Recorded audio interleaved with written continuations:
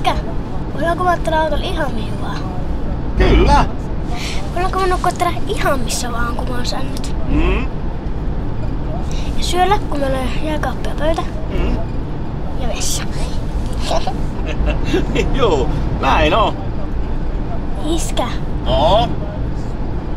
on tää aika hieno homma. Joo, niin on.